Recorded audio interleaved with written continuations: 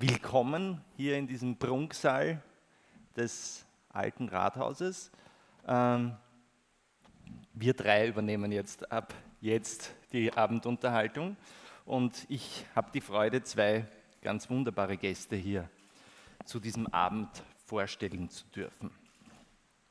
Links von mir Markus Heinsdorf, er stammt aus Oberbayern, er hat Goldschmied gelernt, Bildhauerei studiert und arbeitet als Installationskünstler und Architekt seit jetzt schon gut 30 Jahren, 40 Jahren, 30 Jahren circa, also seit Anfang der 80er Jahre, äh, auf globaler Ebene auch.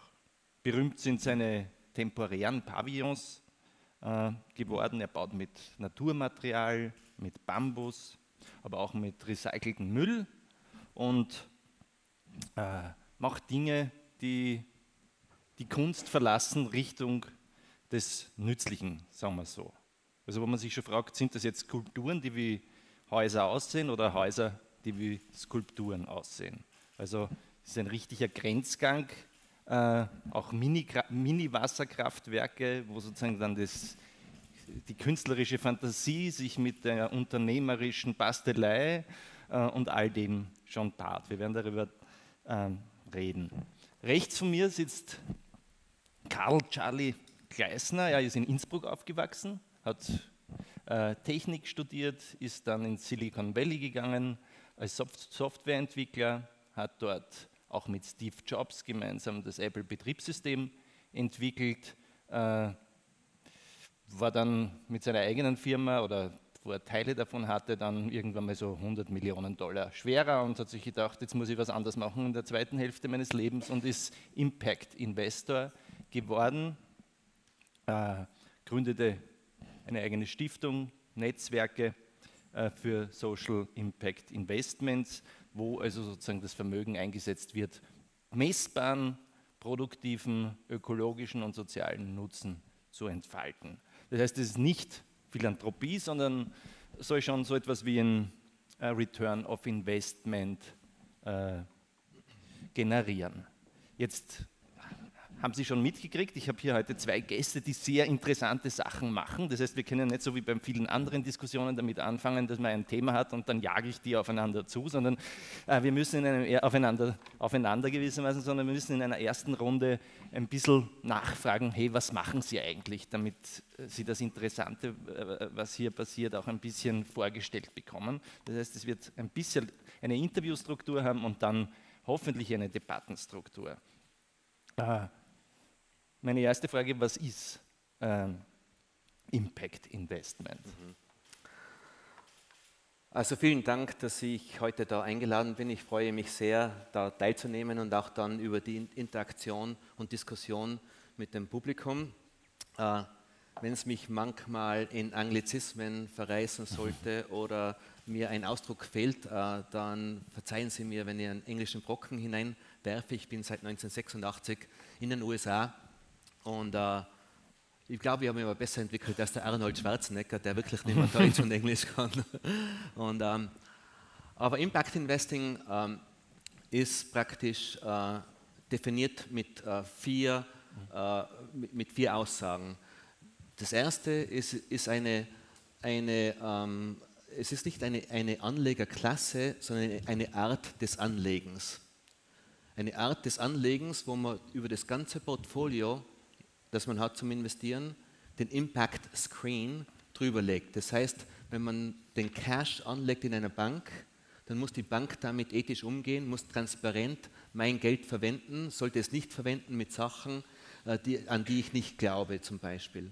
Wenn ich in Aktien investiere, dann verlangen Impact-Investoren, dass äh, die Aktien in, also die, die, Firmen, in die man investiert, sehr wohl den Environmental, den, den, den, den, den ökonomischen, den ökologischen und den sozialen ähm, Impact äh, auch, äh, auch, auch kommunizieren. Ja? Also das wäre praktisch die Anlage über alle Assetklassen. Das zweite Kriterium für Impact-Investoren ist die Intention dahinter. Man will explizit was Positives erreichen nicht durch Zufall. Das heißt, Impact-Investoren überlegen sich, je nachdem, was sie dazu beitragen wollen für die Verbesserung der Welt oder von der Menschheit, äh, in was sie investieren wollen und messen das dann auch. Das ist die dritte Komponente, dass es nicht nur, wie Sie gesagt haben, um den äh, ökologischen und sozialen Return geht, sondern sehr wohl auch um den finanziellen Return. Es ist nicht Philanthropie, es ist aber auch nicht die Maximierung vom finanziellen Return unter allen Umständen, weil wir eben explizit die anderen Impacte auch messen müssen und wollen. Und vierte, das vierte Kriterium ist, dass man den Impact auch misst. Also nochmal, eine Anlagestrategie mit der Intention zum Impact, sowohl finanzielle Returns und auch äh, sozio soziologische und ökologische Impacts und dass man den misst. Ähm, jetzt müssen Sie mich entschuldigen, ich muss da jetzt sozusagen natürlich gleich böse nachfragen und kritisch nachfragen. Äh, Böse. Ich würde jetzt sagen, wie sollte es funktionieren? Im Rahmen eines Systems, von dem man sich nicht äh, loslösen kann, äh, das gewissermaßen die Regeln macht. Mhm. Äh, können Sie jetzt hergehen und sagen, Sie kennen dieses, vielleicht kennen Sie dieses, diese, dieses Stück von Bertolt Brecht, äh, der gute Mensch von Sezuan, äh, eine Kaufmannsfrau, die mhm. Gutes tun will und merkt, sie geht dabei bankrott. Also merkt sie, sie kann als Kaufmannsfrau nur böse sein und als guter mhm. Mensch gut sein und spaltet sich quasi auf. Mhm. mhm. Ähm, gibt da diesen klassischen Satz, also äh, äh, gute Vorsätze bringen ihn, weil sie sich als Mann tarnt, bringen mhm. ihn als an, an, den Rand des Abgrunds, gute Taten stürzen sie hinab. Gilt es nicht für sowas auch, wenn Sie jetzt zum Beispiel in eine Mine investieren und sagen, die soll die Umwelt nicht verheeren und soll die äh, Arbeiter ordentlich bezahlen, dann konkurriert sie mit Minen, die das eben nicht tun und hat Kostennachteile und ist weg vom Markt. Wir würden in solchen Minen nicht investieren und wir stimmen nicht darüber ein, äh, wir stimmen nicht mit Ihnen darüber ein, äh, dass es da immer einen Trade-off geben muss. Mhm. Wir investieren, also wir würden in Minen, die die die die Welt verschmutzen und die die Arbeiter nicht äh, adäquat ähm, behandeln, nicht investieren, weil es nicht unseren Kriterien äh, entspricht. Im Minenbereich gibt es momentan sehr wenig zum Investieren und daher investieren wir auch sehr wenig in dem Bereich. Aber in Commodities, das ist ein Teil von Commodities, und in Commodities, da investieren wir statt in Gold, statt in Diamanten, investieren wir in ähm, Biodiversity, in Carbon Offsets, in uh, Renewable Timber, in Wassermanagement, also die modernen Resource Management, wo wir, wo wir daran glauben, dass wenn man die richtig äh, managt, dass man damit einen positiven Beitrag leistet mhm. zu Resource Consumption äh, und Produktion. Mhm. Äh, und, und wir sind auch nicht mehr die Einzigen, die das machen. Vor zwei Jahren hat unsere Stiftung einen Bericht herausgebracht, der, hat eigentlich, der war voll transparent in Bezug auf alle erste Klassen und wo, wo wir investieren. Und natürlich hat jedes Investment einen positiven Impact und einen negativen Impact. Den kann man systemisch nicht total ausschalten. Was wir Impact-Investoren verlangen, ist, dass wir den positiven maximieren und den, äh, und den negativen minimieren. Und wie wir das machen, ist, dass wir eben Transparenz fordern und bei der Due Diligence so weit wie möglich nachfragen, was sind denn die negativen Konsequenzen und dann auch Einfluss nehmen, falls wir können, die negativen Konsequenzen zu minimieren. Ich gebe Ihnen ein Beispiel. Also wir, wir investieren sehr wohl in erneuerbare Energie und zum Beispiel auch in ähm, Windkraftwerke, die überwiegend positiv sind. Natürlich nicht nur positiv, sie haben auch negative Konsequenzen, manchmal in Bezug auf äh, das Vögel hineinfliegen in die Turbinen und so weiter. Aber im, im globalen Bereich gesehen würden wir das summa summarum als positiven ökologischen Return ansehen. Wie wir die, aber zum Beispiel eine Windfirma angeschaut haben, die äh, sehr viel investiert in, in Zentralamerika, sind wir draufgekommen, dass die ihre Windturbinen bauen auf Land, das eigentlich den lo lokalen Bevölkerung, den lokalen Indianern gehört hat. Und die haben die praktisch von ihrem Land vertrieben, ohne, ohne ihnen sogar was zu zahlen. Das heißt, der soziologische Return ist absolut negativ. Ja? Und äh, obwohl also der ökologische Return in dem Sinn positiv ist, konnten wir in so, ein, so eine Investition nicht machen, weil, äh, weil der negative Return am, am soziologischen, soziologischen, Bereich zu negativ ist. Mhm. Äh, Sie haben ja mit vielen Leuten zu tun, die wie Sie das so etwas tun. Ja. Ähm, was ist die Motivation äh, aus Ihrer Sicht? Wollen die Leute ein gutes Gewissen haben? Also könnte man zynisch sagen, jetzt haben diese schon die ganze Kohle, ihre Penthäuser in New York und wollen dann auch noch ein gutes Gewissen auch haben. Ähm, äh, ist das quasi die Motivation? Es hängt davon ab. Ähm, also ähm, ich, ich fange an mit unserer eigenen Situation und werde dann irgendwie äh, erzählen, was ich sehe von anderen Investoren, die diese Entscheidungen treffen, um dann ein bisschen zu ähm, größere, größeres Argument äh, vorzubringen. Also wir sind, wir haben, wir, meine Frau Lisa und ich, wir sind ja nicht ausgezogen in Silicon Valley, um reich zu werden. Wir sind reich geworden als Seiteneffekt von der, von der Arbeit, die wir gemacht haben. Und die Firma, bei der ich beteiligt war, mit 1,75 Prozent, äh, habe ich mit an den Markt gebracht. Und das war eigentlich die, äh, die Ursache für unseren Reichtum. Da wir relativ schnell äh, reich geworden sind, hat sich für uns sehr wohl die Frage gestellt, was ist, die, was ist, was ist das Meaning, was ist der Sinn hinter diesem Reichtum? Mhm. Weil wir sind auf jeden Fall nicht sehr viel intelligenter als andere Ingenieure und andere Manager im Silicon Valley, obwohl wir dann sehr wohl wesentlich mehr Geld verdient haben als andere, die, die auch sehr intelligent sind. Das heißt, ich, ich nehme mal an, es hängt nicht von meiner Intelligenz ab, dass ich so reich geworden bin, sondern vom Zufall, von, vom richtigen Zeitpunkt. Natürlich habe ich gewusst, wie das kapitalistische System funktioniert, was es heißt, an die Börse zu gehen und so weiter. Ich habe auch ein PhD, aber im Prinzip würde ich sagen, was äh, Zufall. Also wenn man mal das, das zugibt, dass das nicht das eigene Genie ist, dann kommt einmal das Ego ein bisschen heraus. Ja? Weil sonst sagt man, ah, ja, das ist ja so, so großartig, da kann man das auch weiter so machen und so weiter.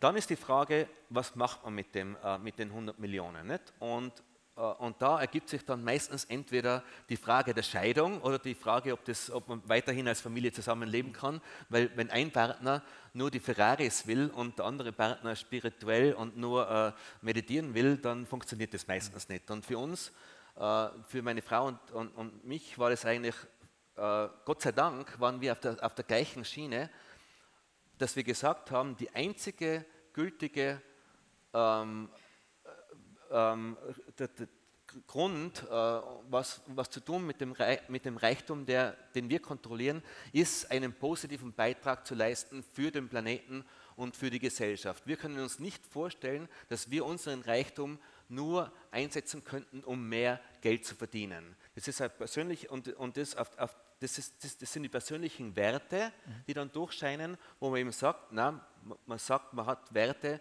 dass man, das, dass man was Gutes tun will oder einen positiven Beitrag zu leisten.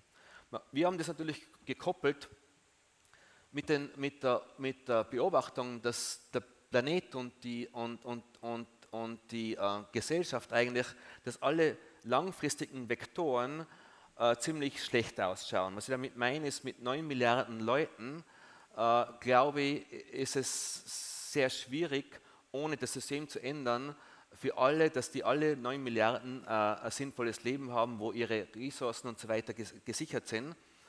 Und dass das kapitalistische System, so wie, so wie es momentan passiert, entweder einen positiven Beitrag leisten kann zu der Transformation, die jetzt begonnen hat, oder einen negativen Beitrag leisten kann. Da kommt also der Intellekt herein und der Systemdenker, der, der ich bin, und sagt, wie kann ich das kapitalistische System so ändern, dass die Externalitäten, wo die Makroökonomen sehr, sehr conveniently für, für sie äh, die Klimaveränderung und die Armut und alles als Externalitäten vom System sehen.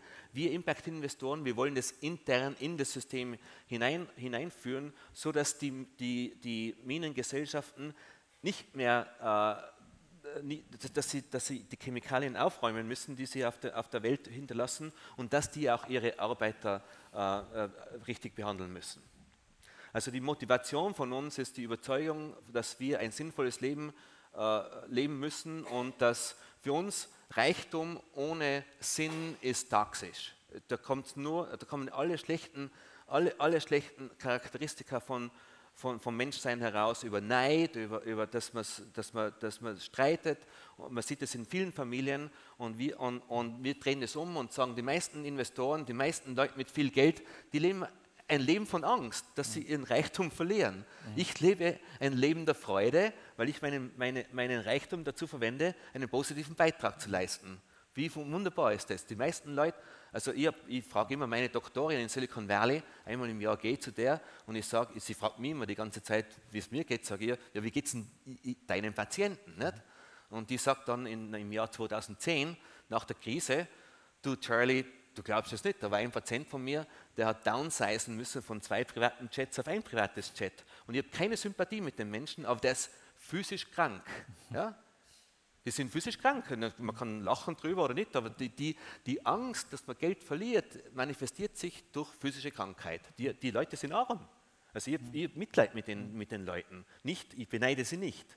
Die einzige, die einzige Möglichkeit, wenn man Teil der, der 1%-Schicht ist, so wie wir und einige im Publikum, ist, dass man, dass man sagt, man will was Gutes tun damit.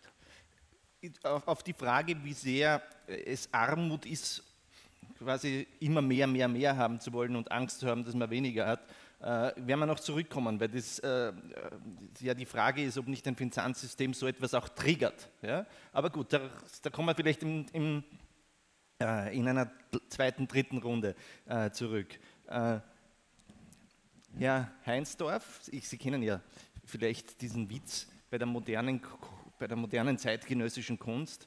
Äh, es gab ja auch diesen Beispiel, wo jetzt mal sozusagen, glaube ich, ein Beuys äh, Kunstwerk von der Putzfrau weggeräumt worden ist. Äh, da gibt es ja diesen Witz, ist das Kunst oder kann das weg?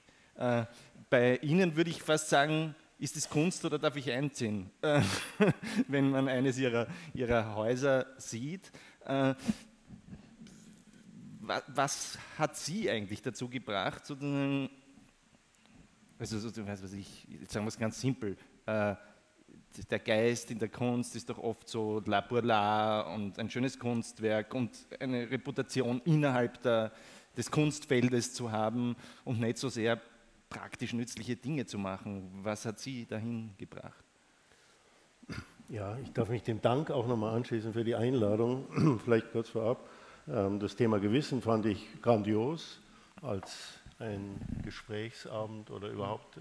Also ich könnte das auch für mich als meine ja, so ein bisschen mein Lebensmotto sehen. Also wenn man sich umschaut und gerade die Boys-Wanne äh, sieht oder überhaupt den Werdegang von Beuys, der äh, am Anfang immer belächelt wurde und später einer der ganz großen äh, Vordenker war oder eigentlich über, für uns so die Abstraktion ermöglicht hat. Und die Abstraktion, ich habe noch in der Zeit studiert, wie man also die Nachbarklassen, wie man angefeindet wurde, wenn man sich also einschrieb für äh, mein Professor äh, äh, war der einzige in München, der ein abstrakter Künstler war. Den wollten die erschlagen, den wollten die umbringen. Äh, also war unglaublicher Hass da. Und man sieht heute, wie sich das alles geändert hat und dass die Kunst, wenn man auch über Kapital spricht, weltweit einer der größten Märkte geworden ist. Also ich glaube, ich weiß gar nicht, an welcher Stelle es steht. Wir haben Bernker hier. Äh, Investmentmärkte. Äh, Investmentmärkte meinen Sie? Ähm, ja, die überhaupt die, die, Investment ja. in die ja. Kunst und äh, natürlich die Künstler auch, die sich äh, mit, mit, dem Kunstmarkt natürlich äh, zum großen Teil identifizieren oder ihn beliefern müssen und so weiter.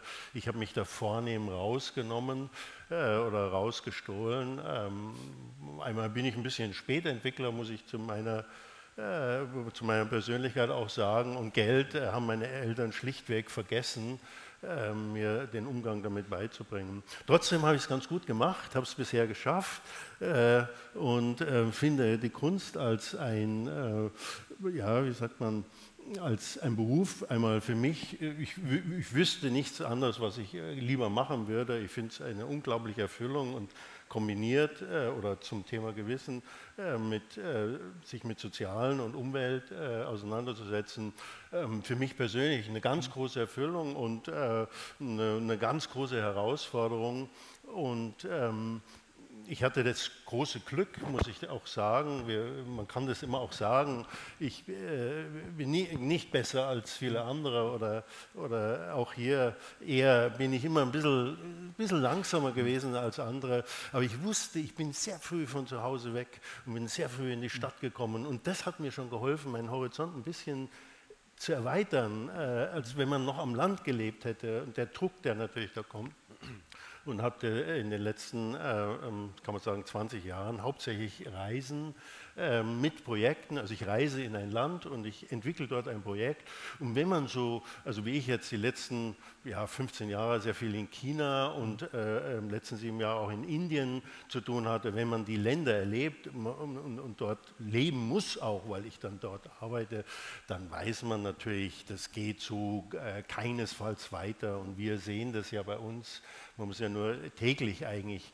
Äh, ich, hab, ich baue gerade ein Archiv auf, ich sammle bestimmte Themen auch aus Zeitungen, äh, Wasser äh, zum Beispiel oder überhaupt äh, Umweltthemen. Und wenn man, also in China, wenn ich drei Monate in einer kleinen Stadt bin oder in Indien, da geht es mir richtig, richtig schlecht. Und als Künstler habe ich mir gedacht, ja wunderbar, ich, mein Reichtum, jetzt muss ich auch mal äh, mit Reichtum äh, oder auf das Thema, das ist Kreativität. Jetzt habe ich mir gedacht, verdammt, du bist ja so kreativ, du, du musst was machen. Äh, und das ist meine große Lust oder auch die Erfüllung, die ich sehe. Äh, und das Bauen mit Müll, das ist natürlich auch ein Schockthema. Ich hatte die, äh, äh die die, die, das, tolle, das, tolle, Glück äh, für Deutschland, äh, in, sowohl in beiden Ländern, wie der China und Indien, ähm, die ähm, Präsentation des Landes zu machen. Und hier ging es darum, dass sich die Großindustrie ähm, einmal nicht präsentiert als äh, im, wie sagt man, in einer Messe, also wir wollen jetzt was verkaufen, natürlich geht es immer um Geld in, in, letzter Konsequenz. Aber hier ging es eigentlich darum, so Zukunftsvisionen entwickeln. Wie zeigt sich, wie, was sind die Märkte, wo, wo kann eine Firma wie BSF oder die Deutsche Bank oder Allianz oder was, egal, Geld, Versicherung, äh, Produkte, Chemie, wo, wo sind die Märkte? Und die sind ja tatsächlich oft in diesen, oder eigentlich in der Zukunft in den äh, ähm, Ländern mit den Megacities, also ähm, sprich eigentlich diesen zwei äh, äh, globalen Lädern. Und da habe ich eben sehr viel gelernt über Entwicklung, Stadtentwicklung, also was wird überhaupt gebraucht in der Zukunft. Vielleicht noch ein Satz, äh, ist ein wunderbarer Artikel gerade äh, vor äh, ähm, ein, paar, ein, paar, Wochen rausgekommen in der Süddeutschen Zeitung ähm, über die Stadtentwicklung der Zukunft. Also dass wir werden eigentlich auch von den Slums lernen müssen, wie wir unsere Zukunftsentwicklung, unsere Märkte machen müssen. Um das äh, ein bisschen plastischer zu machen äh, fürs Publikum, also da gibt es dann, wenn ich im Internet mir ihre, ihre Arbeiten angeschaut habe, da gibt es dann Häuser äh, mit Plastikmüll, Plastikflaschen, äh, wo man tatsächlich drin wohnen könnte oder tut. Ja, äh, oder zum Beispiel auch Wasserzisternen aus so etwas, also wo Wasser gesammelt wird. Ne? Ich bin, äh, also ich arbeite natürlich, nichts kommt von alleine, ich arbeite hm. natürlich immer mit Ingenieuren, Universitäten, Firmen äh, äh, zusammen und, und, bin technisch sehr interessiert und mein, meine Arbeit könnte man eben, ich habe es vorhin erwähnt, auch nützlich nennen. Das heißt, der Pavillon steht erstmal oder das Haus als ein Kunsthaus da. In China habe ich sehr viele Bambushäuser gebaut.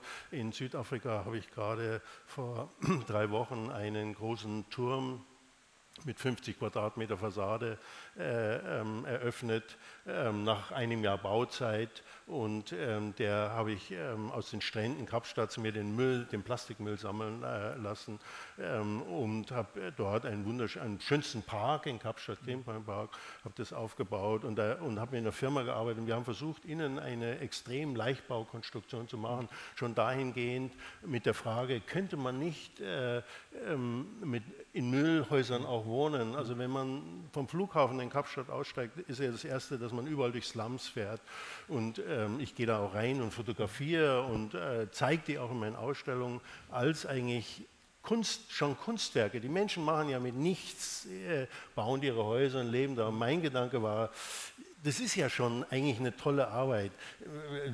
Ich verliere gerne den Faden, wenn ich ablenke, aber ich muss es sagen, Wanderarbeiter in, in Indien, grandios, die bauen aus nichts bauen die sich wunderschöne Zelte. Das können, mein nächstes Projekt muss eine Ausstellung damit sein ähm, von den Wanderarbeitern. Das sind schon fertige Recyclinghäuser, äh, eigentlich eben wirklich Kunst. Und mein Gedanke ist eben, wenn Sie, die, wenn Sie sich umschauen, und wir erleben es ja permanent, äh, irgendwelche, jetzt gerade Nepal, die äh, Großkatastrophen, Erdbeben, aber viele Sachen ja aus, aus der Klimawechsel heraus, ähm, Erwärmung, Stürme, wenn man man zu den Philippinen schaut ähm, oder über, überhaupt große Katastrophen, was bleibt auch nach einer Flut, ist immer kleinteiliger Müll. Meistens wird er einfach unter die Erde geschoben. Und mein Gedanke ist, es sind natürlich Ressourcen, äh, äh, sind Wertstoffe. Ich mache gerade ein Projekt auch über Wertstoffe, wunderbar, der Name, also ich weiß nicht, wie es in Österreich geht, aber wir Deutschen, wir sagen nicht Müllplatz,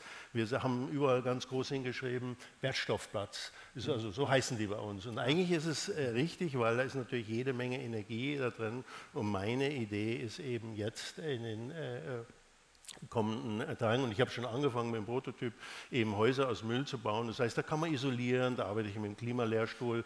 Man kann die Flaschen mit äh, Flüssigkeit füllen, das wird auch teilweise schon gemacht. Man kann äh, damit wunderbares Klimadesign machen. Na, tagsüber heizen die sich auf, nachts gibt es in kühlen Regionen schön, strahlt es Wärme ab oder umgekehrt. Man könnte also Slumhäuser damit optimieren. Aber mir geht es auch ein bisschen so als Künstler, ich baue äh, im Prinzip singuläre Arbeiten, hauptsächlich. Ein Wasserkleinkraftwerk ist was anderes. Aber das heißt, ich möchte den Menschen auch eine, eine, eine Anregung geben oder möchte ein Projekt bauen. Äh, heute bin ich ja hier durch die Stadt gelaufen, ja sagenhaft diese Stadt, also was hier für Monumente gibt. Wenn man sich das vorstellt, wenn da nicht einer gewesen wäre oder viele, die gesagt haben, das muss schön werden, das muss Kultur sein. Und so geht es mir als Künstler, dass ich sage, auch wenn das ein armes Land ist oder eine arme Region und wir werden uns damit ja in Zukunft auseinandersetzen müssen, immer mehr, aber das kann doch auch praktisch sein, das kann schön sein, das kann herausragend sein. Und so sehe ich meine Arbeit eben, dass ich sage, ich will mit dem, was ich kann, eben äh, Armut auch ein Gesicht geben, das heißt eine tolle Gestaltung, ein tolles Design. Natürlich nutze ich auch die Kunst oder den Kunstmarkt oder den Kunstschiene, den Kunstbereich dafür, dass Menschen damit auch lernen umzugehen oder ich versuche sie zu sensibilisieren und äh, sehe darin eine ganz, ganz große Möglichkeit, eben äh, für mich vielleicht auch nur in kleinen Schritten, aber eben ähm, etwas in die Welt zu setzen, was nicht nur mir vielleicht eine Befriedigung gibt, dass ich sage, ich habe mich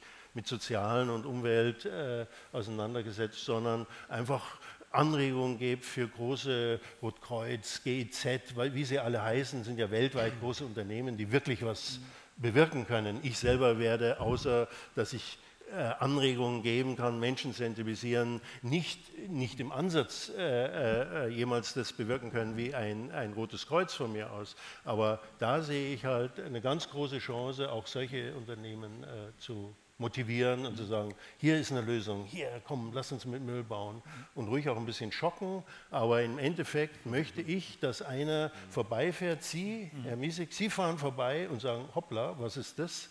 Bleiben stehen, schauen sich sagen, das will ich auch haben. Daran ja, arbeiten. Wir sind ja vor allem wahnsinnig schön, vor allem in der Nacht, wenn sie beleuchtet sind und von oben fotografiert werden. Diese Fotos äh, habe ich ja gesehen, die sind ja beeindruckend. Äh, jetzt haben, glaube ich, alle ein bisschen einen zumindest Eindruck, was unsere beiden Gäste so tun im Leben, um das so salopp zu sagen. Äh, und äh, wir haben das irgendwie schon gemerkt. Wir reden hier über ja, Handlungen, Aktivitäten, die man setzt, was sozusagen äußere Handlungen sind, die gleichzeitig aber bei jedem der beiden, wenn ich das sozusagen versuchen kann, ähm, äh, das so zusammenzutackern, äh, durch innere, intrinsische Motivationen äh, begründet sind. Das sind die Quellen davon. Das ist ja letztlich auch unser Thema heute. Gewissen ist etwas, was man drinnen hat, ein gutes Gewissen, ein schlechtes Gewissen, ist vielleicht sogar eine moderne Erscheinung. Früher hätte man vielleicht vor 200 Jahren noch gesagt oder vor 2000 Jahren überhaupt, äh, hätte man nicht gewusst, was ein Gewissen ist vor 2000 Jahren. Äh, äh, es kommt ein bisschen aus der Religion und vor 2000 Jahren war es eher noch so, wenn du sozusagen die Regeln befolgst, das, was Gott dir vorgibt, dann bist du fromm und nicht, was drinnen in dir vorgeht. Das war wurscht. Ja? Irgendwie wurde, kam das in den letzten 200 Jahren auf äh, und äh, in den letzten Jahrzehnten habe ich den Eindruck, ist es fast so etwas wie äh, radikalisiert worden. Ja? Also so, das innere, die innere Motivation, das, wie man sich fühlt, dass man identisch ist mit, dass das die äußeren Handlungen identisch sind mit der Vorstellung, die man über sich selber hat, dass man authentisch sein will. Der Begriff Authentizität ist heute für jeden wichtig. Äh, vor 30 Jahren, mein Vater hätte wahrscheinlich nicht gewusst, was Authentizität ist und wenn ich mit Authentizität gekommen wäre, hätte er gesagt, lern was Gescheites, pur. Also äh, äh, da hat sich ja sehr viel verändert. Glauben Sie, äh, dass diese Art von innerer, intrinsischer Motivation äh, gewissermaßen jetzt so etwas wie einen Siegeszug hinlegt? Einen Siegeszug? Einen Siegeszug ja. oder vielleicht der falsche Ausdruck, aber äh, das. Also wenn ich, wenn, ich, wenn ich mir das anschaue, was wir in Europa erleben mit äh, äh, Mittelmeer, äh, mit Afrika ähm, und wenn man eigentlich die Hilflosigkeit sieht, wie die Welt sich diesen, diese Situation mit Militär, mit, mit dem Gedanken, man könnte hier mit einem Zaun oder mit, mit einer Grenze irgendwas erreichen, äh, dann denke ich, das wird unser großes Zukunftsthema da soll, da, und da werden wir alle oder viele Menschen werden sagen, nee, da müssen wir absolut was machen. Also ich sehe Aber gleichzeitig so, ist es ein schlechtes Beispiel, insofern ein, ein, oder ein negatives Beispiel, weil dort haben wir ja alle nichts. In Wirklichkeit wissen wir, es saufen jedes Jahr 20.000 und ja, aber ich denke, halt weg, wir, ne? wir, können sehr, sehr viel machen. Mhm. Also wenn wir eben gerade, äh, oder das, das, das, Thema, was wir heute eben haben, mit wenig Geld, mhm. viele Startups, viele kleine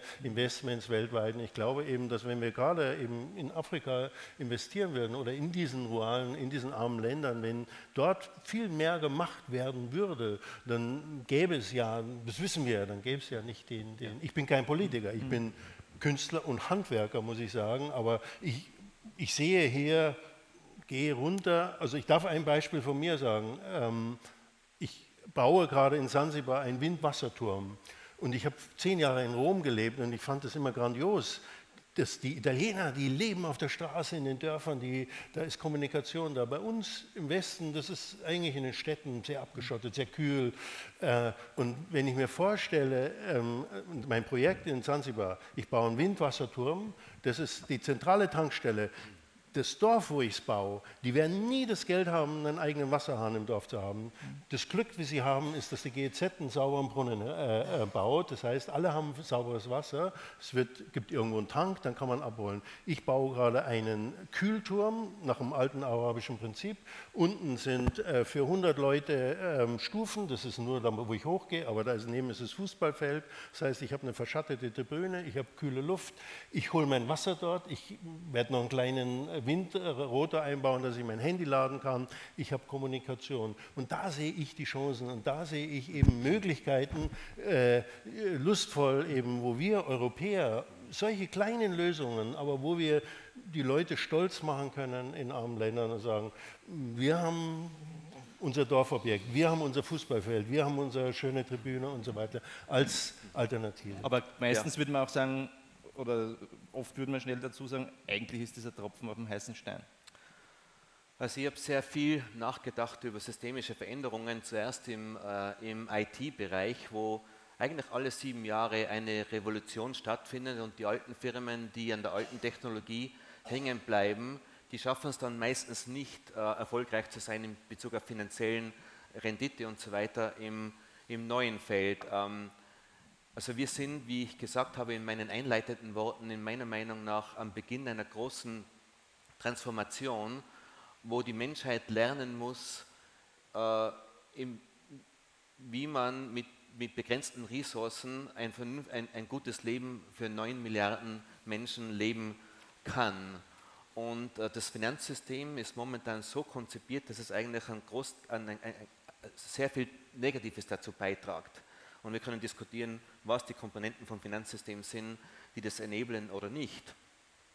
Aber einen Teil, den wir, äh, wo wir gesagt haben, wo wir Hebelwirkungen sehen können, ist eben das neue Feld von Impact Investments, wo wir dezidiert Finanzkonstrukte einsetzen, um expliziten positiven Wirkungsgrad zu erzielen. Es gibt da neue Produkte auf dem Markt, äh, die sind in, in Großbritannien ähm, auf den Markt gekommen, die heißen Social Impact Bonds, Social Impact äh, Rendite, wo der, wo der, finanzielle Return, den wir machen, explizit abhängt vom sozialen Impact, den das, das, das Investment hat. Das heißt, in dem, in dem, in dem Sinn, was ein, was was Investment in, um die Rückfallsrate von männlichen äh, Häftlingen, die entlassen werden vom, vom, vom Gefängnis, zu verringern. Ja? In, dem, in, dem, in dem Bereich, wo wir gearbeitet haben, wo wir immer noch arbeiten, das sind, glaube ich, 40 Prozent der Leute, die, die entlassen werden vom Gefängnis, nach zwölf Monaten wieder im Gefängnis.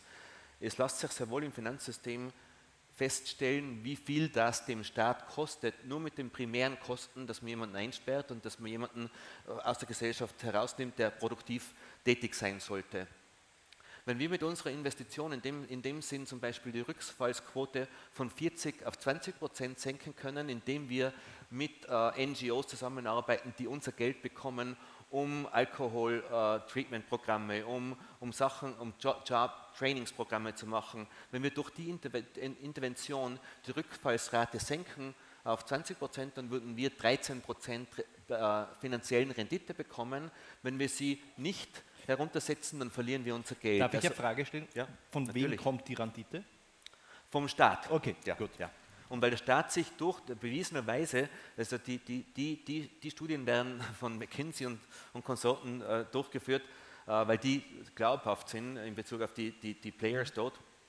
Und die, die, die verifizieren das dann mit Controlled Study Groups. Ja, ja. Weil an, an, an ja nein, das ist schon klar. Ja. Aber sozusagen, damit ist es ja, sozusagen kein Investment, das tatsächlich auf einem auf eine Art von Marktrendite, man verkauft sozusagen, Nein, ist, es, es, gibt ja keine Einnahmen, sondern die Einnahmen sind dann quasi so, das, was sich der Staat erspart, wird gewissermaßen zu einem Teil äh, aber es, es, es, geht zurück auf den Impact. Ja. Ohne den Impact könnten wir nicht die Rendite bekommen. Ja? ja. Also da gibt es die ersten Konstrukte, wo man das wirklich explizit zusammenfasst. Wir haben Ideen, wo man an eine neue Weltbank inkorporieren sollte, die wirklich, sagen wir, in, in Bezug auf Sanitäranlagen mit, mit, mit Staaten wie Indien arbeitet und denen große Anlagen zur Verfügung steht, äh, stellen sollte, weil nach gewisser Weise, wenn, wenn die irgendwie das Sanitärproblem in den Griff bekommen könnten, dass, dass auch ihre Wirtschaft wachsen würde und wenn es dann der Fall ist, dass die dann praktisch den Kredit zurückzahlen können. Also die Ideen sind, sind draußen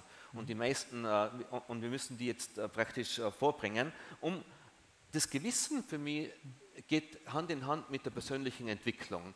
Also Sachen, die, die heute mit dem, was meine Entwicklung war, äh, mache oder die ich früher gemacht habe, würden mir heute ein schlechtes Gewissen machen. Damals aber mhm. habe ich keine, kein schlechtes Gewissen gehabt, weil, weil mein Bewusstsein anders war. Ich bin momentan sehr vorsichtig oft, in, wie ich meine Gedanken umsetze in Worte, weil Worte können, können sehr verletzend sein. Mhm. Und äh, und, und ich, ich, war früher in meinem Leben sehr ungeduldig und äh, sehr direkt. Und ich habe hab in den letzten Jahrzehnten, Jahrzehnten, in den letzten 15 Jahren durch Meditation und Yoga und andere Sachen gelernt, meine, meine innere Unruhe oder meine, meine Unzähmigkeit äh, so zu lenken, dass es meistens einen positiven Einfluss hat. Und Sachen, die ich damals gesagt hätte, würden mir heute ein schlechtes Gewissen machen zum Beispiel.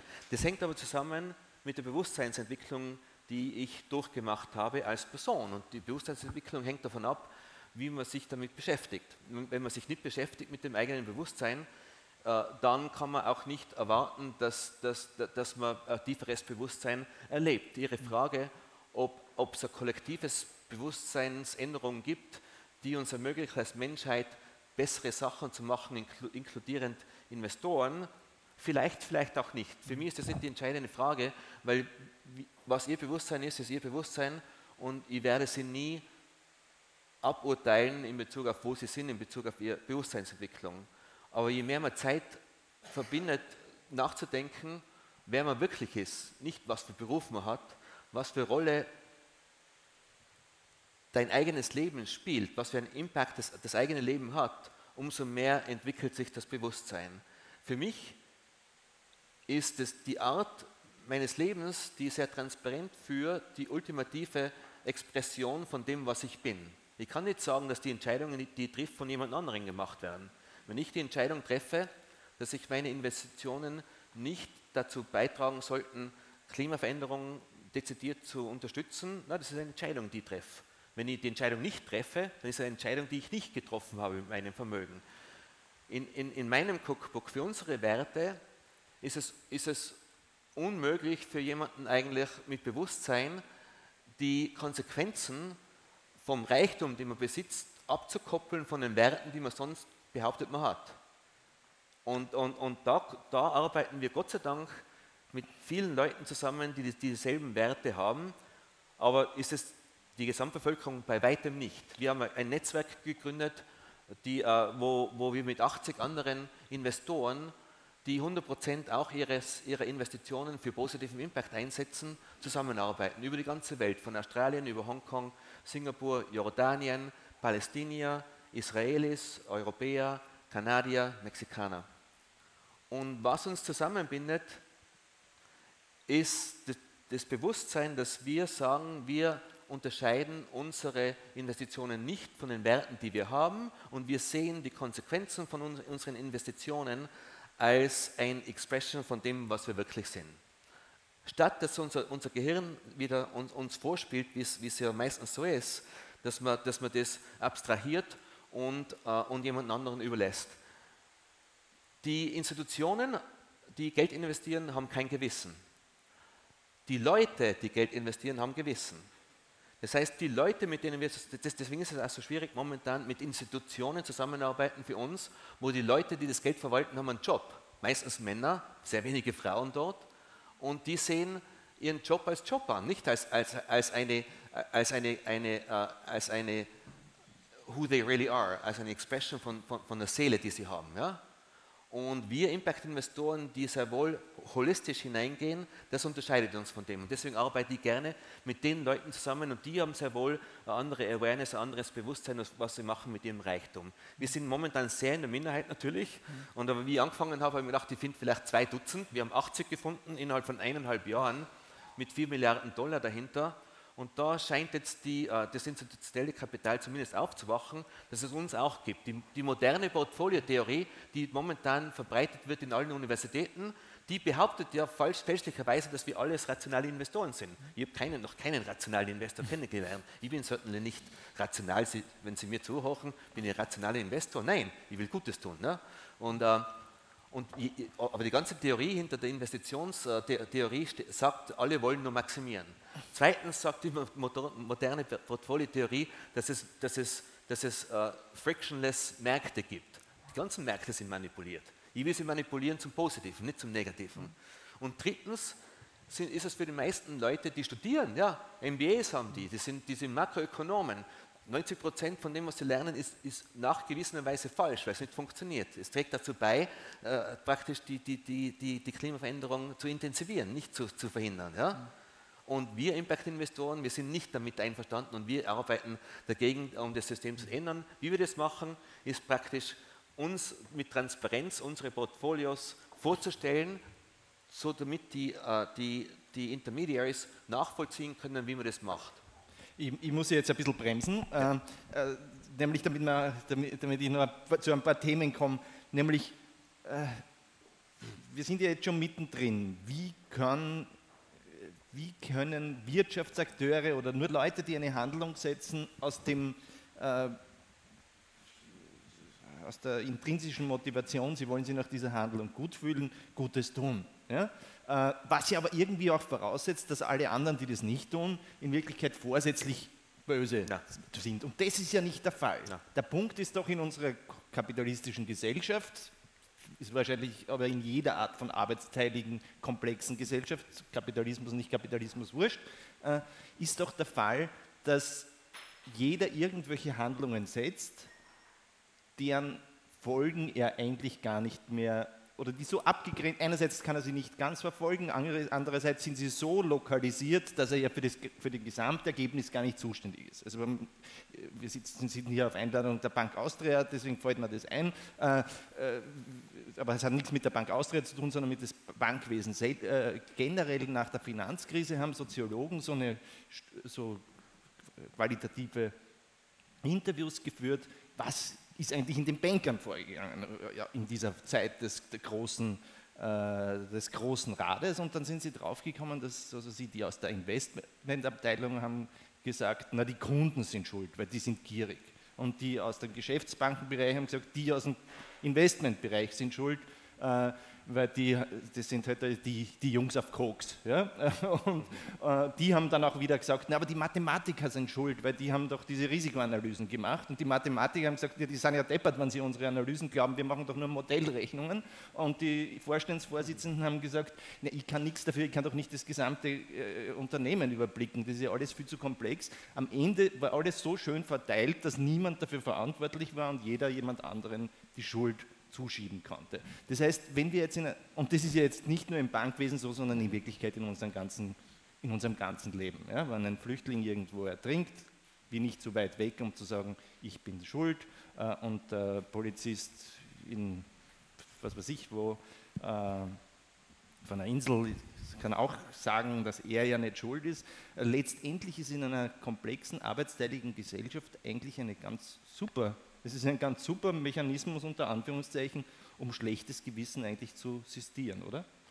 Also ich finde, wir können gar nicht genug schlechtes Gewissen haben. Mhm. Und ich, ich sehe das auch so, also ich habe das vorhin mal kurz erwähnt, ähm, auch wenn ich das so sage mit dem Geld und den Eltern, ähm, meine Frau, der ich natürlich auch verdanke, dass ich so viel in der Welt äh, rumreisen und experimentieren darf. Und viele meiner Arbeiten sind ja Experimente. Äh, die liest in der Früh das Freundintum, was ich eigentlich lesen müsste, also einfach beruflich. Und ich lese den Wirtschaftsteil. Und für mich ist das eigentlich ein Krimi. Und ich finde, ähm, das, was Sie äh, äh vorhin gesagt haben, ähm, also ich bewundere Sie. Und andererseits sind Sie aber auch jemand, der, ich bewundere Sie, dass Sie das schaffen, aus Ihrem Werdegang ähm, eigentlich so ein positives Bild zu machen. Und ich denke, eben, das sind die wenigsten. Aber auf der anderen Seite, und da, da glaube ich, sind die, das ist das vielleicht noch viel, viel wichtiger, weil Menschen wie Sie werden immer nur sehr singulär sein. Menschen wie ich, die versuchen, Sie sagen ja auch, Ideen gibt es viele, natürlich. Aber ich denke, die kleinen Schritte sind wichtig. Aber was wir vielleicht äh, nicht vergessen dürfen, und da zählen natürlich dann auch die Banken äh, dazu, das ist das sogenannte äh, Image einer Firma oder wir sagen ja so schön CSR. Corporate Social Responsibility. Und das finde ich zum Beispiel eines der spannendsten Dinge, die ich äh, in der Früh lese. Wann geht eine Firma über den Jordan? Äh, da mhm. reicht, was weiß ich, in irgendeiner kleinen Bio-Zeitung, der Toaster hatte Asbest und schon kämpfen die über Monate ums Überleben, was weiß ich, Roventa, Toasterhersteller und so weiter. Und so geht es natürlich Global Player. vorhin haben wir kurz geredet, mhm. äh, äh, äh, Deutsche Bank, Chefs, Doppelspitze, sie weg damit, zack, da denkt man doch, die sitzen doch da drinnen, die, die, die das muss doch alles, äh, und, aber das ist ja alles so schnell und das finde ich, da sehe ich die ganz große Chance oder so sehe ich das, also einmal das was Sie machen oder die, äh, die ähm, Business Angel auch oder dieses ganze äh, ähm, Social Business, äh, dass das ein hochkreativer Prozess ist, wie mein Anwalt auch, wenn der für mich einen Gerichtsprozess gewinnt, genial, mhm. das ist für mich der viel größere Künstler als ich, aber eine große Firma, und da darf ich jetzt das Beispiel äh, nochmal sagen, wie IKEA, die ähm, Sie haben es vorhin gesagt, äh, als Stiftung 30.000 Flüchtlingshäuser baut. Ich meine, die machen das nicht zum Spaß. Also die sehen da ein Geschäftsmodell. Die haben angefangen, ein Flüchtlingshaus kostet äh, 8.000 äh, Euro am, zu Beginn und jetzt nach ein paar Jahren, äh, ich weiß nicht, ob sie es geschafft haben, auf 1.000 Euro.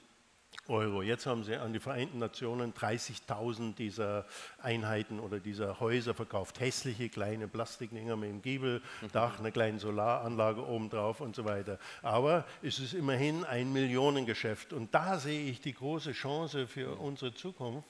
Also äh, äh, Geld bestimmt die mhm. Welt natürlich, aber dass Firmen eben sehen, aha, die, äh, wir, wir, die Gesellschaft, wir haben Ansprüche und wir sind aufgeklärt und wir leben in Internet Internetzeitalter. Man muss ja nur junge Leute beobachten heute, wie die mit den Medien auch umgehen und dass eben Firmen sich sehr genau überlegen. Und auf meiner Tour mit den Firmen habe ich auch äh, erlebt, also dass dieses, dieses Bild, was wie eine Firma sich sehen möchte in der Gesellschaft, wie sie sich in der Zukunft positionieren, wenn Sie falsche Entscheidungen, ist doch auch wunderbar, dass ihr, ich sage jetzt mal, Sie sind ja auch schon fast Amerikaner, wie die, wie die, wie die Amerikaner uns zeigen, wo es lang geht. Ne? Der Apple-Computer, die Facebook, die Google, da sind die Multimilliarden-Geschäfte und ich ich arbeite halt gerne mit dem äh, äh Apple-Computer. Ich würde mir nie einen, einen anderen mhm. Computer auf den Tisch stellen, weil er effizient ist, weil er gut ausschaut und weil er vielleicht dank Ihnen auch noch das richtige Programm hat und so weiter.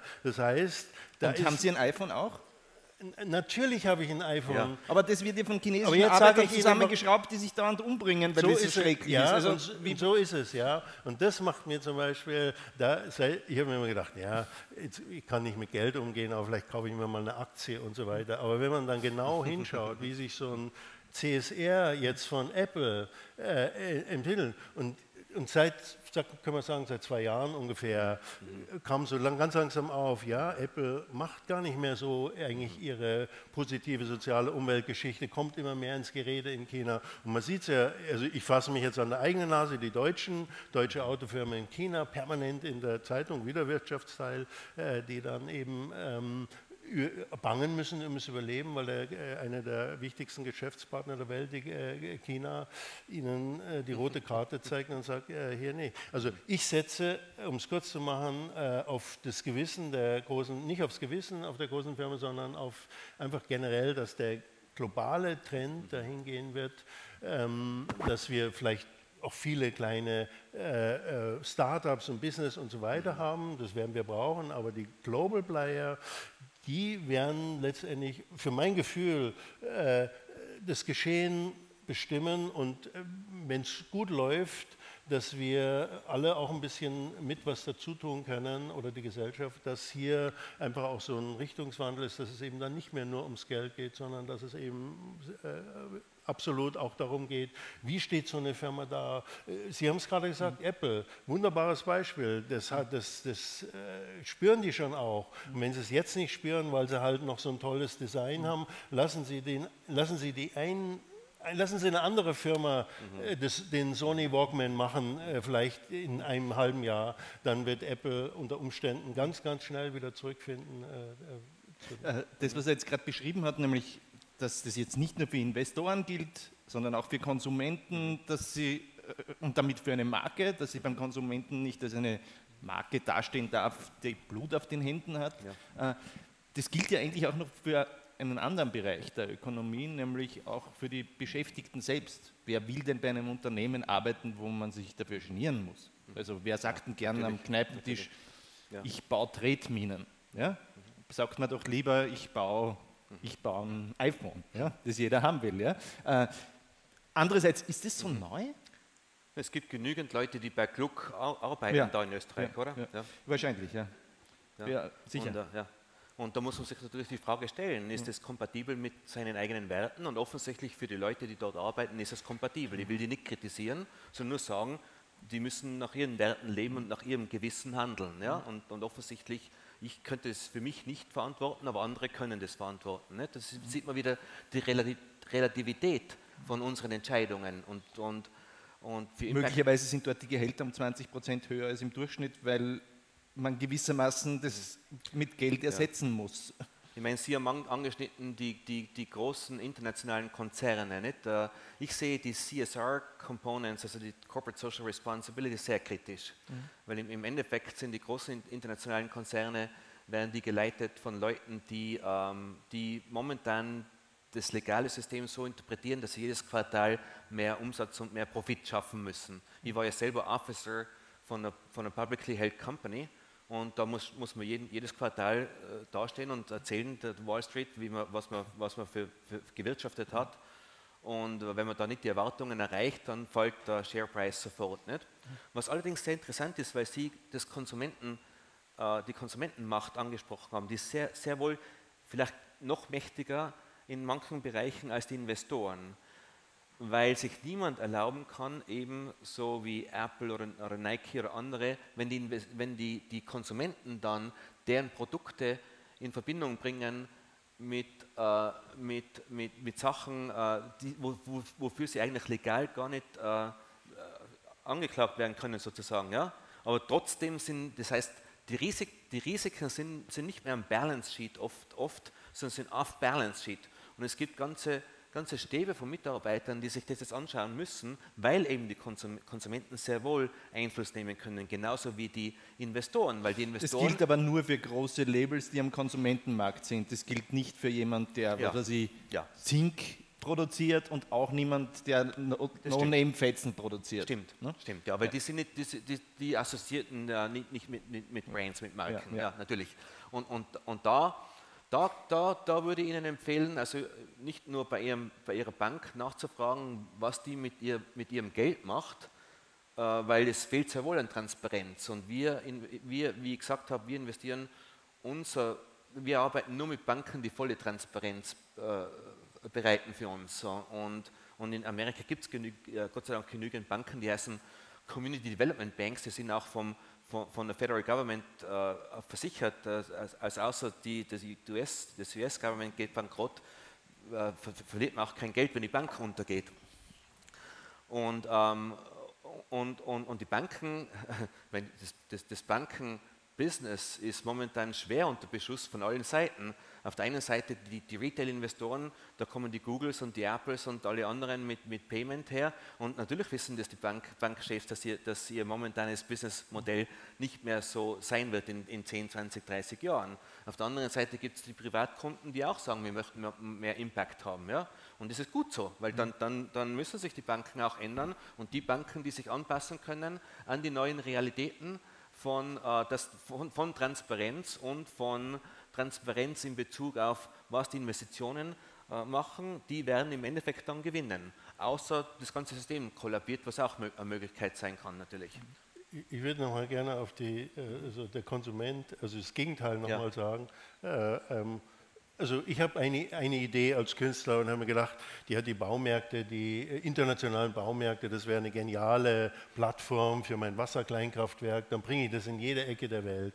Und dann ich, bin ich mit denen in Kontakt gekommen mhm. und so weiter. Und über diese Schiene und diese Gespräche äh, ich, also kam immer mehr so dieses, unser Problem in Deutschland, ich glaube in Österreich ist vor einem halben Jahr oder was einer der größten Baumärkte hier pleite gegangen. Mhm. Mhm. Und die Baumärkte in Europa oder in Deutschland, sage ich es mal, ich kann immer nur von meiner nächsten Nähe ausgehen, die ähm, die leiden unter Amazon. Und Amazon, also jetzt kommt der Konsument, dem Konsument ist es völlig egal, dass da um die Ecke äh, der Tante Emma Laden ist und der einen noch liebevoll berät, der bestellt bei Amazon mhm. und es wird geliefert und man steht fünf Stunden im Postamt und muss in, diese ja. ganzen Blödsinn mitmachen. Aber Fakt ist, das funktioniert und in, hier, hier ist ja. das Business. In, in Kalifornien gibt es 20 Prozent der Bevölkerung, äh, die sehr wohl bis zu 10 Prozent mehr für Sustainability zahlen will und kann. Es ist ein großer Markt und da kommen, der, der, Markt ist groß genug,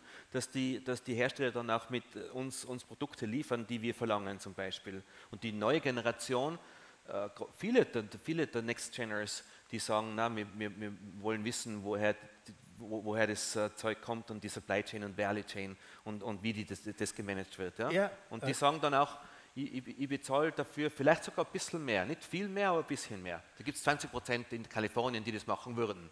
Aber genau da wollte ich jetzt gerne einsetzen. Die Baumärkte, denen war das bis dato völlig egal. Ja. Das musste nur billig sein und, raum, ja. und raus damit und ja. Business. Und jetzt merken sie, sie müssen sich neu erfinden. Und mhm. da sehe ich eben die große äh, Geschichte äh, oder die große Chance da drinnen, dass man eben im Prinzip sagt, mhm. das sind ja gigantische Unternehmen und da hängen wieder Tausende von Firmen. Und genau das, was Sie sagen. Jetzt kommt einer her und sagt, okay, probieren wir es mal mit Sozialen, probieren wir es mal mit Umweltbewusstsein. Bewusstsein. Und ich denke eben, das sind Lernwe Lernwege ja. von Firmen, die, die verinnerlichen das. Ich meine, die, die Baumärkte, also ich habe mir überlegt, ich habe hab gesagt, wir investieren nur in, wie sagt man, erneuerbares Holz, ja, Renewable Timber und nicht, nicht Holz, das niedergeschnitten wird und nicht wieder aufgeforstet wird. Ja? Und ich habe mal gedacht, warum kriegen wir da nicht bessere Rendite? Mhm. Weil jeder sagt doch, normalerweise, wenn ich Sie fragen würde, ist es besser, dass man Renewable Timber sagt, sagt jeder, ja, natürlich ist es besser. Ja? Und trotzdem äh, bekommt man oft nicht mehr Geld, wenn man in solche Sachen investiert. Und dann habe ich nachgefragt, warum ist das der Fall? Das geht ganz, ganz durch, durch das System, weil die Staaten, zum Beispiel Brasilien oder auch Österreich, das Wirtschaftswachstum wird gemessen, wenn man Bäume niederschneidet, nicht, dass man sie wieder aufforstet, sondern man kann sie einfach niederschneiden und es wird als positives Wirtschaftswachstum gezählt. Ja, also es, es ja aber, wenn man es niederschneidet und neu pflanzt, ist es noch mehr Wirtschaftswachstum. Es ist nicht so, dass das Neupflanzen, das ist ja auch, äh, kriegt ja auch jemand Gehalt, der, der das anpflanzt, also steigt es noch mehr. Eventuell, ja, aber nicht, da hängt es davon ab, wie viel der Markt dafür zahlt für sowas und wie man das auf, aufs Balance Sheet hinauf äh, bekommt. Und da gibt es natürlich Efforts, so wie zum Beispiel RED, äh, wo, wo, wo, globale äh, Development Banks, äh, zum Beispiel, ich weiß nicht, ob die österreichische Entwicklungsbank da mitmacht, eben dann das Government bezahlt dafür, das wieder aufzuforsten oder nicht, nieder, nicht, nicht abzuforsten. Also es gibt schon Ansätze dafür, aber im Prinzip, sage ich nur, im Prinzip ist es so, dass, dass, dass, dass die, die Staaten nicht dafür äh, renummeriert werden, sozusagen in, in, in dem Wirtschaftswachstum von dem. Und dann sagt man, okay, dann gibt es auch keine, ähm, keine Verifikationsgremien, die wirklich sagen, okay, wenn ich jetzt das Holz kaufe statt dem, kann ich wirklich sagen, dass es sustainable ist oder nicht. Ja? Und bis zum Konsumentenverhalten, wenn es teurer ist, dann, dann, kaufen die meisten Leute eben das andere Holz. Ja? Also geht ganz durch vom System, vom Hersteller bis zum, bis zum äh, Konsumenten. Was, man noch, was noch jeder machen kann, was ich auch oft sage, ist, die Leute sagen immer, das ist nicht mein Problem. Aber die meisten Leute, vor allem in Österreich, beziehen eine Pension irgendwann einmal. Und die Pensionen, die investieren. Das sind eigentlich die, die, die, die größten Investitionen, die also gemacht im österreichischen Umlagesystem ja, nicht, genau. die die eine Zusatzversicherung haben. Ja. Okay. Und, und, und die meisten Pensionäre, wenn ich die frage, oder zukünftigen Pensionäre und sage, du, wäre es dir recht, wenn deine Pension ausgezahlt wird, äh, obwohl die Investitionen, die deine, Pension, die deine Pension finanzieren, die Umwelt für deine Kinder und deine Kindeskinder ruinieren, dann sagen die meisten natürlich, das will ich, das will ich nicht.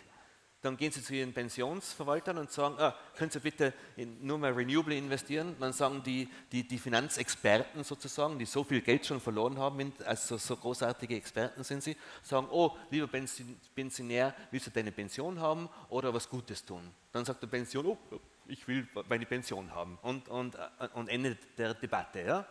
Und, und 90, eine, und 90 Prozent vom, 90 vom investierbaren Kapital auf der Welt ist Pensions- und institutionelles Kapital. Die haben kein Gewissen, wie gesagt, weil die werden verwaltet von Managern, meistens Männern, die einen Job haben. Da gab es mal eine wunderbare Geschichte in der Zeit, ein ganzes Dossier.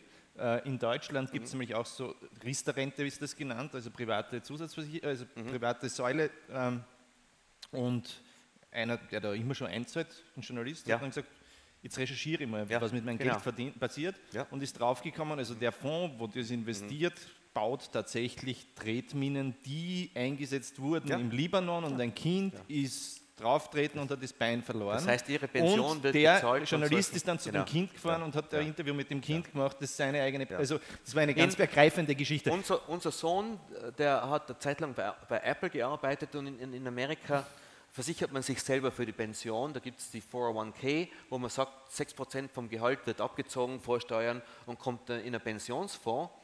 Und mein Sohn, der wird wahrscheinlich noch 30 Jahre arbeiten, der hat gesagt, es ist absurd, dass ich in meinem Pensionsfonds nicht Alternativen habe, wo ich langfristig investieren kann. Also die ganze Industrie in, in, in, in Frankreich, da ist jeder Pensionsfonds verpflichtet, 10 von den Investitionsmöglichkeiten auch sozial anzubieten. Und das hat dann einen wesentlichen Einfluss gehabt, wie die Leute reagieren und was auch die Anbieter haben. Das ist praktisch der Beginn von, von, von, von dem System, dass, es, äh, dass, es, äh, dass, dass die, die, richtigen Fragen gestellt werden. Aber all, die meisten Leute, die sagen, das System ist zu kompliziert, ich kann eh nichts ändern, so wie Sie impliziert haben in Ihrer, in, in Ihrer Frage, oh, es ist zu kompliziert und ich kann eh nichts machen. Ich, ich finde, das ist eine, es ist eine sehr einfache Antwort für uns alle. Und ich, ich, encourage Sie alle, die Fragen zu stellen an Ihre Bank und an Ihr Pensionssystem, um immer mal zu, zu, zu, aus, herauszufinden, worauf unser, unser Wohlstand dann wirklich basiert. Ich hoffe, Ihnen hat es gefallen. Es sind ein paar Fragen offen geblieben bei Ihnen, bei mir leider auch, aber so ist es halt. Ähm, ich hoffe, es hat Ihnen gefallen. Ich danke Ihnen, dass Sie da waren. Ich danke äh, den Gastgebern, dass Sie uns eingeladen haben und ich wünsche Ihnen noch einen schönen Abend und ein angenehmes Buffet. Und Dankeschön. Ihnen beiden danke ich natürlich besonders für das Gespräch.